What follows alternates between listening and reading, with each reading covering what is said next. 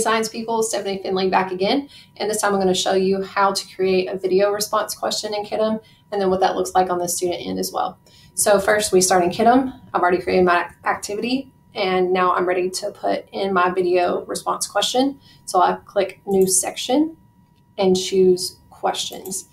So automatically Kiddom defaults to student facing on questions, which is nice, but then it also defaults on written response. So I need to change that to video response if I want my students to respond to me through video. And then I obviously have to put in my question or it won't show up, show up for my students. Okay, so that was easy on my end. So let's see what this looks like on the student end.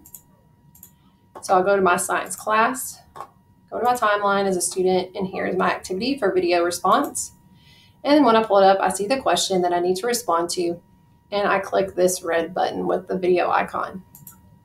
So a lot of times um, it will ask the students to allow Kiddom to use your camera and your microphone. So make sure that they know to click allow for Kiddom.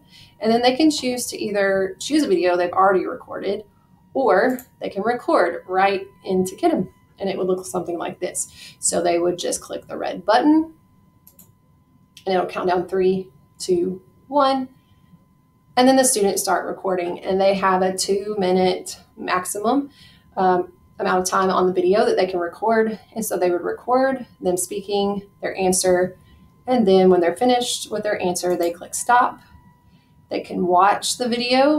And then the students start recording, and they have a two minute. If they're happy with that, they can click use video. It'll upload the video, and then they click submit.